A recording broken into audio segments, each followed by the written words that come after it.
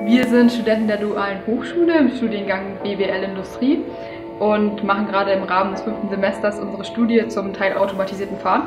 Wir haben zwei Fahrzeuge von Mercedes zur Verfügung gestellt bekommen.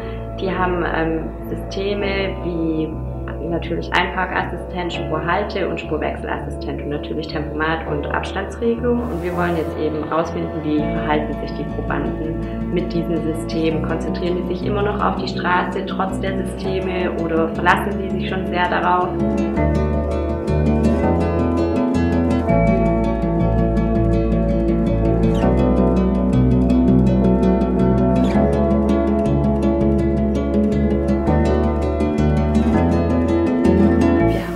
Probanden akquiriert.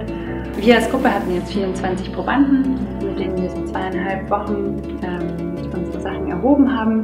Und wir sie einfach fahren haben lassen, ganz normal. Dann sollten die Probanden ganz normal einparken oder eben mit dem teilautomatisierten ähm, Parkassistenten. Ähm, es ging um Spurhalteassistenten zu testen und einen Spurwechselassistenten zu testen.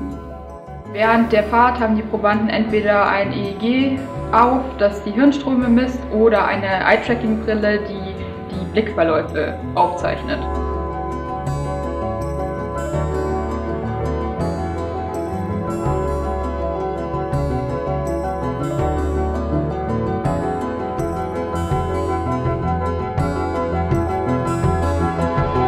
Also die Stimmung war eigentlich, die Probanden sind gekommen und haben gesagt, ja okay, ich muss ja nichts machen, das Auto kann alles. Also man musste den Probanden eigentlich erstmal erklären, nein, das Auto kann noch nicht alles. Also viele Probanden sind halt mit der Erwartung hergekommen, dass das Auto auch anders aussieht wie ein normales Auto, waren dann ganz überrascht, dass sie mit einer ganz normalen E-Klasse oder einer ganz normalen S-Klasse fahren. Ganz interessant war auch, dass viele gesagt haben, dass sie die, ähm, zum Beispiel den Fahrmodus mit den Systemen anstrengender fanden, als einfach normal zu fahren, weil sie quasi immer wenn sie die Hände vom Lenkrad nehmen, die ganze Zeit ihre Aufmerksamkeit wieder aktivieren müssen. Also die Studie hat an sich mega viel Spaß gemacht.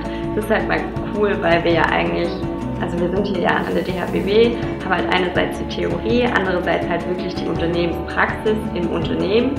Aber so eine empirische Studie in dem Umfang führt man ja nicht privat oder just for fun einfach durch. Und deswegen war das mega interessant, das mal alles von vorne bis hinten mitzuerleben. Und wir sind ja auch wirklich da eingebunden mit der Auswertung und die Probandenakquise. Das liegt ja alles in unseren Händen und eigentlich haben wirklich alle mega engagiert mitgemacht und es war echt ein cooles Erlebnis.